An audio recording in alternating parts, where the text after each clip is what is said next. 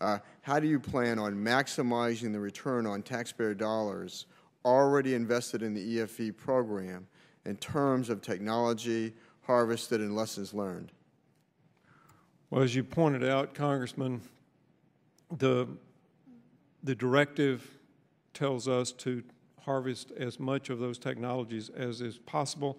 We would much prefer to use the monies remaining in the, in the current contract to harvest that technology instead of paying termination fees.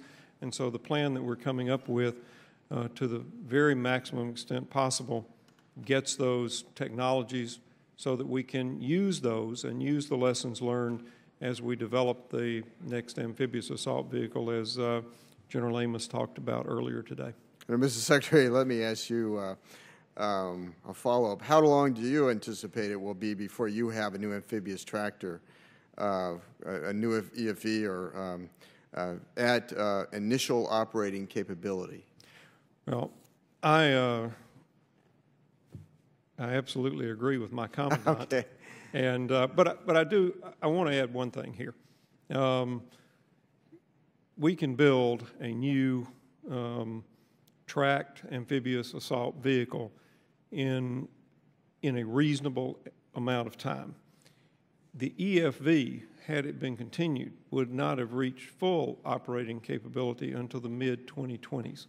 And we were going to have to do, have to take mitigating steps in terms of upgrading our AAVs, SLEPing our AAVs, things like that, regardless of what uh, amphibious assault vehicles that we were doing. And uh, I think we ought to be able to build these things a lot quicker than we have historically. And as I said, I, I absolutely trust my commandant in his estimate. General Amos, any response?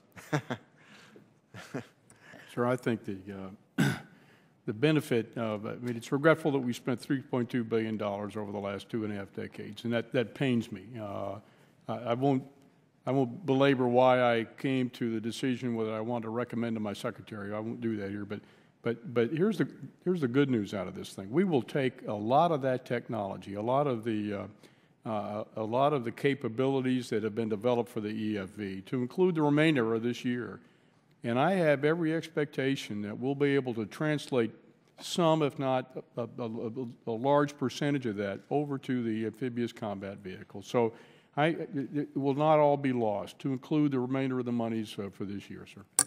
Thank you, General Amos. Uh,